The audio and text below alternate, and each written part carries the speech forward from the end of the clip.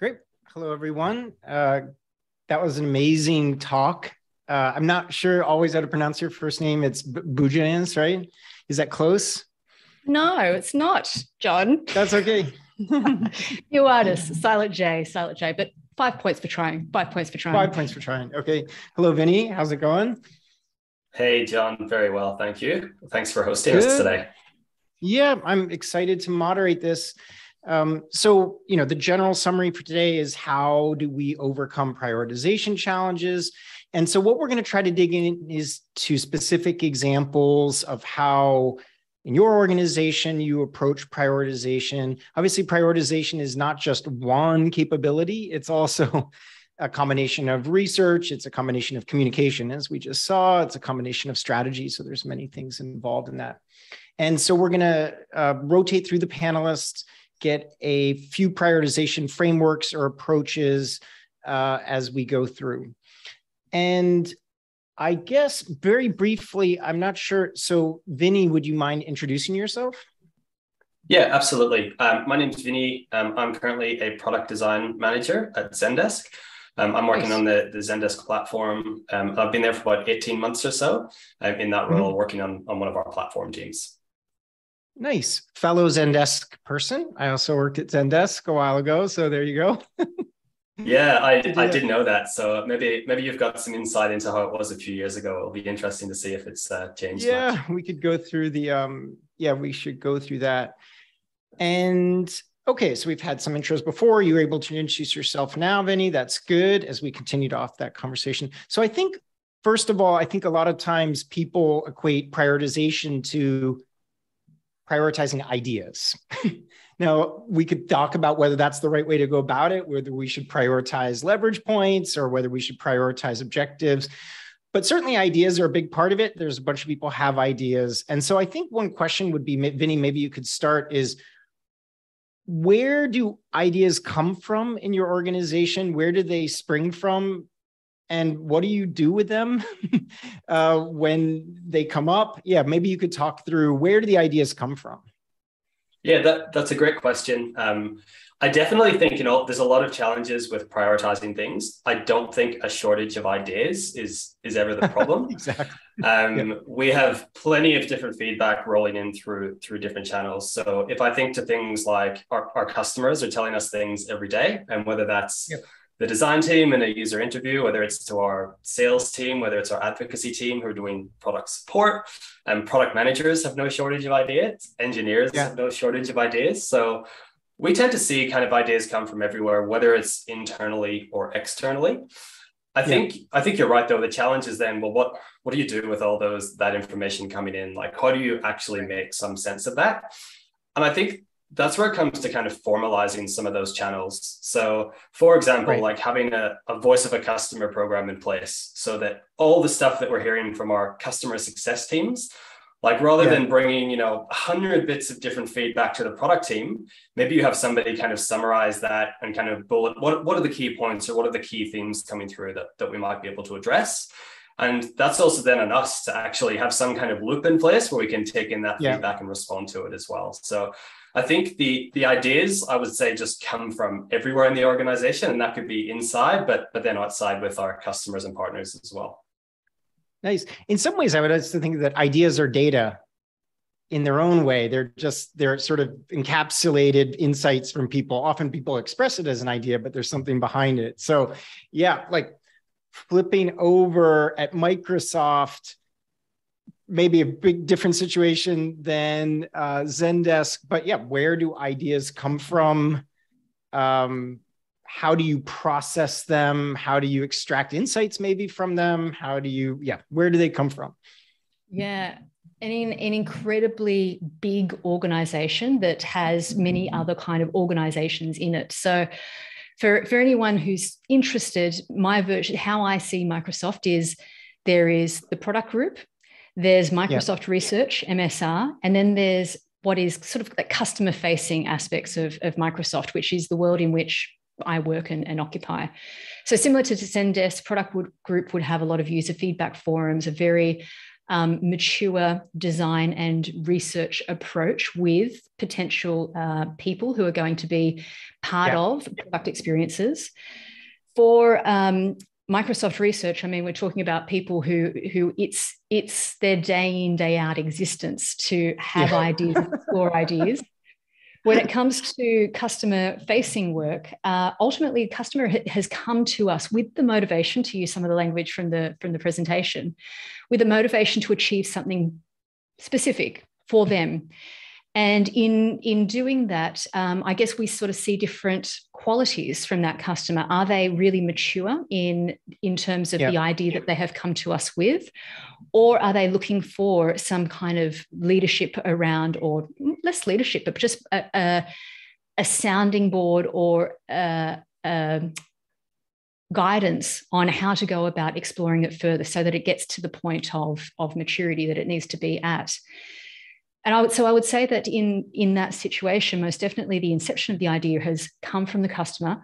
What has influenced them in that idea is a myriad of things, right? There is the, the entire yeah. milieu that that we all live in, them being exposed to advertisements or to ideas within their own industry. And then it's a matter of at a project level, how we engage with them to work that project, that idea through to you know whatever stage it needs to be.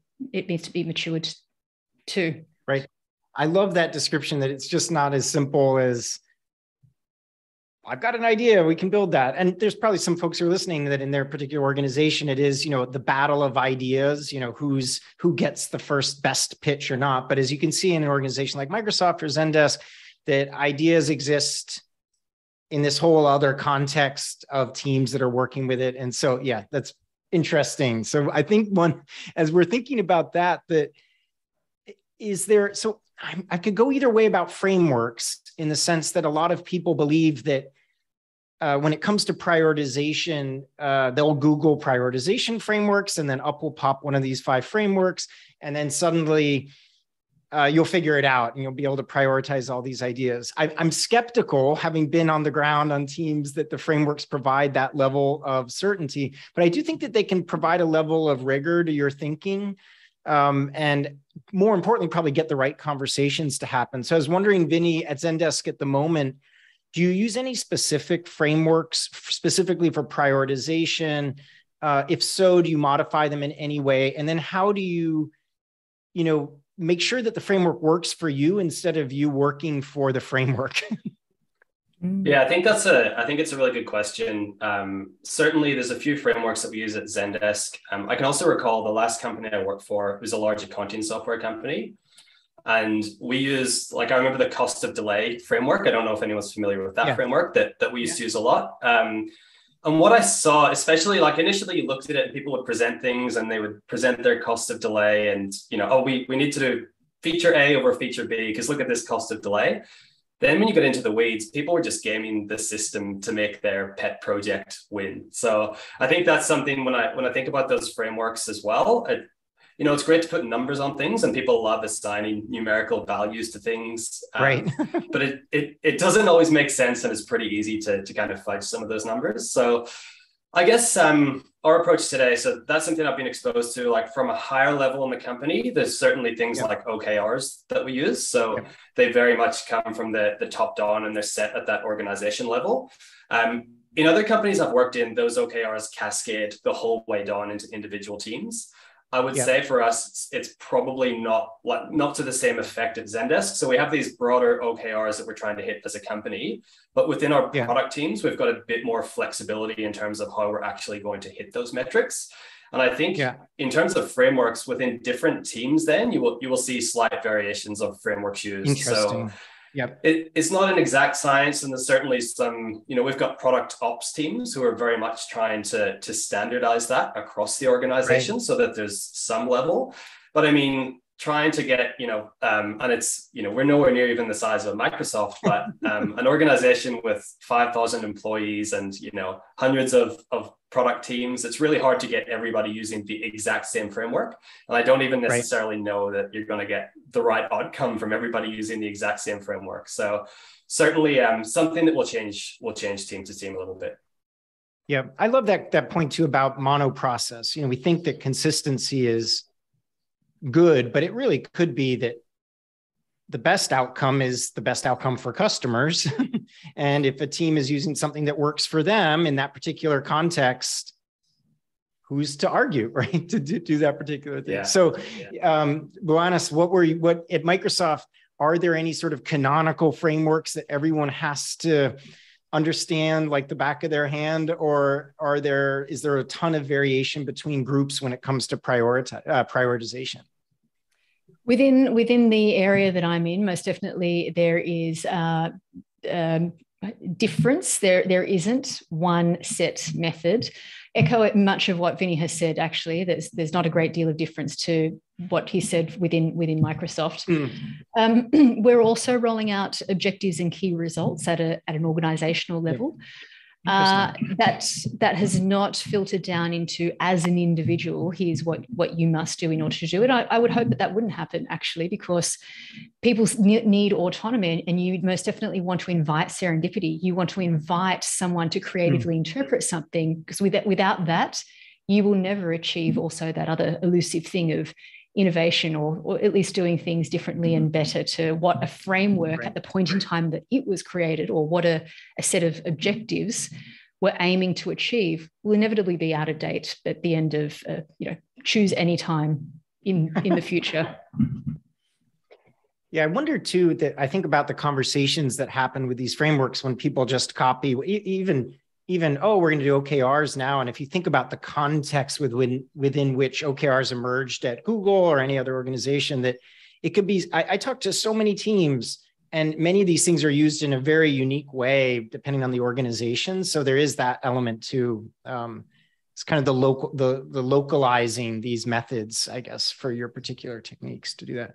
We do have a question. Um, was there any uh, game numbers. We'll get to numbers in a second. Yeah, I think we'll get to the numbers. Um, when I, am wondering too, may, maybe this is one way to help people think about prioritization, but at what level do you prioritize? You know so one one could argue well prioritization is happening up and down the stack right? Like at some point someone is saying there's that slide with the three to four pillars on it. You have to have that. And that is a, form of prioritization in itself. Hopefully you don't have 17 of them but uh, you know uh, ideally that there's something there. And then you could go from that to sort of um, where a team's going to spend the next 12 to 18 months to focus you know just a broad um, swath of focus all the way down to the sort of backlog or things like that. Um, Vinny, I'm not sure. Yeah, maybe you wanted to take a, a a quick stab at that. Is if you kind of work down the stack of these, you know, from the pillars down to the things like when does it happen? How often does it change? Can you take a stab at that? I think it would help folks out. Yeah, yeah, absolutely. So I think yeah, this has been interesting too, working in different organizations with different approaches to this. Um, again, the the last organization I worked for they really went through these big three year plans. So everything was like mm. a three year plan. No, the three year plan didn't mean like we've we've decided every roadmap item for the next three years. It was just like some really big high level kind of targets around maybe it was seizing the enterprise or or hitting a particular revenue goal. Right. But it was very consistent through the three years. Like you'd have slight variations, mm. but it, it would always be through three years. It was internal branding and all that kind of stuff were on the plan. Um, at Zendesk, I think it's much more on a. I think 12 months is, is probably the the time mm-hmm. frame for really properly reassessing everything and really yep. kind of checking in. Is this the right direction? That mm. 12 months, so every 12 months there'll kind of be a, a, big bang almost. Like often that's kind of lined up with with product marketing as well, where, where we'll actually hold right. events and, and kind of talk about releases in the product teams though i think we're very focused quarter to quarter. So right. a lot of our kind of rituals are focused on hey what's happening in the next quarter? How did the last quarter go? Like we'll have yeah. mid quarterly check-ins where we're checking in kind of mid quarter but it's we really talk about quarters a lot. So when we're kind of talking about prioritizing work and where different projects fits in it, it's very much on that quarterly basis. Um, to kind of to go back to the maybe more the heart of the question though we we'll kind of have these kind of annual plans and there'll be some broader OKRs for the company. And then typically there'll be for the product team, there'll be some key focuses and asks of the product team. So this year, like here is the five things that, that we want the product team to be focused on. And different teams will kind of get assigned to those to those different areas. And within the teams, then you've got a real clear goal that's been set from, from the higher ups in the business. But it's really up to you then to actually start prioritizing, you know, gathering the bits of work, prioritizing roadmaps, kind of looking at what are we going to do in Q1 versus Q2. And, and actually, you know, as you said, starting to talk about like backlogs and, and managing the work at that kind of level.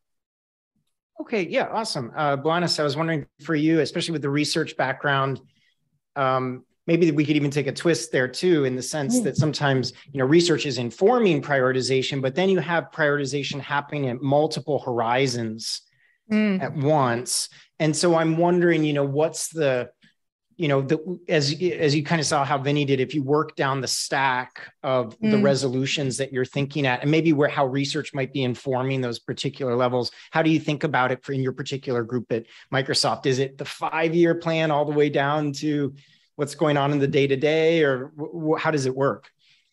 A slightly different context because we're working with customers on their products or their right. solutions or their experiences. So, what I typically see mm-hmm. is an average of a one year mm-hmm. product plan for customers who mm-hmm. have products in market that we're then helping them with or we're, right. we're doing a piece of work on. So, that means that uh, what, what's difficult in that situation is if they have a desire to, while this product has a one year commitment, if they're then wanting to do some parallel work around uh, exploration phase of something that could be a game changer yeah. for that product, we are we, we need to be very mindful of the time of the costs associated with that product that is already committed to a one year time right. plan. You know, those, those product yeah. managers have already settled on the people that they'll have in their team, the, the variety of skill sets required, the disciplines, etc. But at the same time, they want to simultaneously run this parallel piece of work. So there's always a little bit of a, a tango around managing that. In yeah. terms of uh, where it, where there's sort of let's say an innovation group or a, a group within an organization that has been carved out in order to achieve a particular new thing within that organization so it might not actually be a product yet right in yeah. that in that instance um, we're working day to day and where uh, the the thing that we're always aiming for is to of course ensure that research starts ahead right. of any engineering work and yeah. even that i mean there's there's some things to talk about in that because there are fundamentals that can be put in place. So there are moments in time where you could run two tracks in parallel. You just need to be, I, I guess, very aware to catch that moment in time that to ensure that people aren't continually continuing on those tracks in parallel, but that there are these moments of connection in planned in by design throughout rather than that default position. If you start out one way, it's very hard for people to kind of question and get off that track. So being intentional about designing in those meeting points is, is a requirement in that kind of a situation. Yep. I love that description too, because again, it's people, if, if you're new to product or new things, you imagine you're just sort of force ranking a backlog and that's the degree of prioritization. But it is really a lot more dynamic than that. And you're prioritizing at different levels and you're using research to sort of diverge and then converge where you're going. But in your example too, the team's established. So someone has placed a bet they've prioritized some kind of opportunity that exists at that point. Otherwise the people wouldn't necessarily be there. And so it is kind of very interesting to hear about how it's happening at these different resolutions. I'm curious about the the input of how things have been working back into prioritization. So one thing we notice a lot at amplitude is that people they get extremely focused on using data to maybe think about the opportunity space and then maybe think about the various problems that exist and then maybe think about how to design their solutions or their particular bet. And they spend a lot of time focusing on that and then they ship it and then they never go back and look at it again. And so there's not they're not closing the loop of prioritization back into that. And so that can be qualitative as well. It can be quantitative. There's many there's many ways to keep that loop going. And i was wondering vinny when you're thinking about uh, how you prioritize at zendesk is it product ops who's essentially trying to cast the net for the various and, and that and i guess uxr and other groups they're trying to cast the net for the qualitative feedback. Yeah but how how are you inputting back into the prioritization based on how stuff is doing? Yeah it, it's a really good question. And you know i think certainly in every team that I've worked in, it's, it's always been a real struggle to, to really give as much time as you really want to, to go back over some of that stuff again.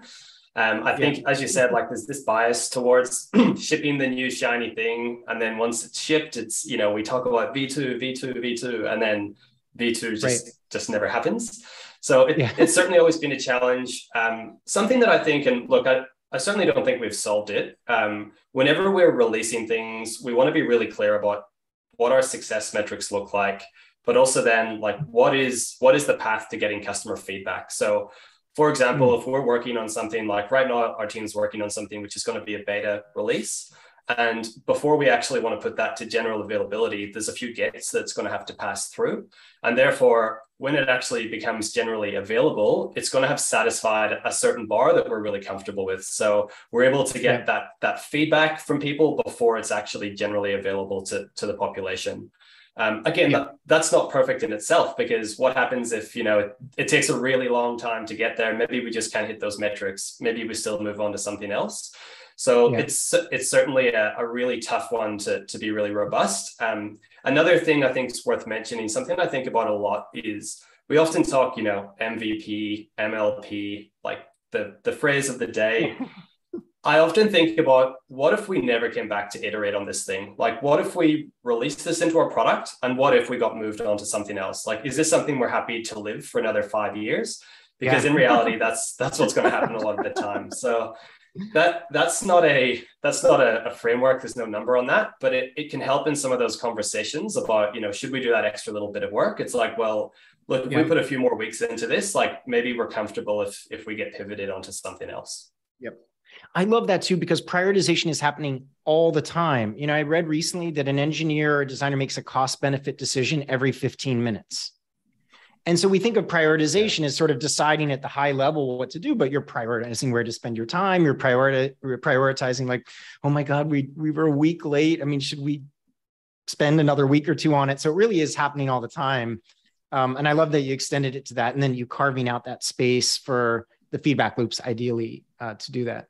Um, Buhanis, I was wondering for you, what role does the feedback loop play in prioritization decisions, either on where to go next, or maybe as you're working with these customers. I always think with we deal with a lot of um, consulting firms at Amplitude who use Amplitude for their customers, and they always say, they always describe an example where they do these excellent startup activities with the the executives of the company. It feels very organic, very participatory design. There's a vision, and then it gets to shipping the thing and they're already a couple months in and they have the stickies all over the wall and suddenly things they never go back to that they get into such delivery mode to do that mm. and so mm. i'm curious like how do you maybe extending that you know you've got a lot of research going into it you have a lot of assumptions a lot of hypotheses about what's going to work out and you want this customer of yours to be successful too at what they're doing how do you even encourage them to think about getting this out there potentially early enough to be able to have enough cycles before maybe that year is up that you have with them? Um, it's tough sometimes right?